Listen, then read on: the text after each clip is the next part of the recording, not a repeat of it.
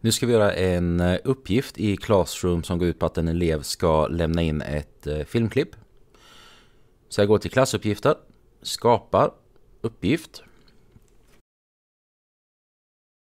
Så vi skriver en titel och sen vanliga instruktioner. Jag väljer att lägga till ett dokument. Eleverna kan visa filen. För klassen demo alla elever behöver inte ha några poäng. Och jag kan sätta ett slutdatum om jag skulle vilja till exempel på fredag. Jag har inget ämne just nu. Och tilldela.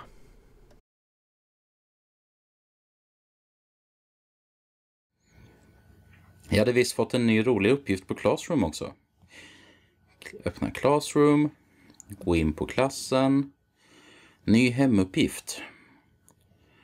Du ska läsa instruktionerna nedan, spela in när du genomför ett praktiskt moment med din telefon och lämna in uppgiften. Okej, då ska vi se. Vi läser instruktionerna. Okej, okej. Ja, det såg ju inte så svårt ut. Vi går tillbaka hit och så skulle vi lämna in en inspelning. Hmm. Lägg till bilaga. Spela in video. Och så får vi väl tippa ner till liggande format.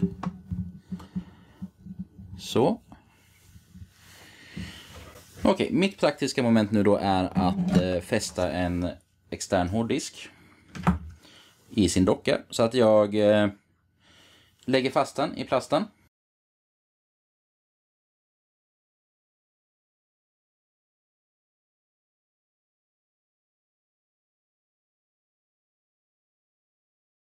Så, då är det klart. Då stoppar jag inspelningen. Gå tillbaka.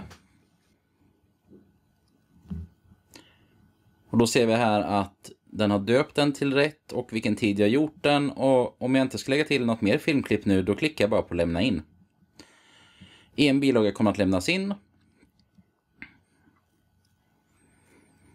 Och så, då har jag lämnat in mitt arbete. Buslätt.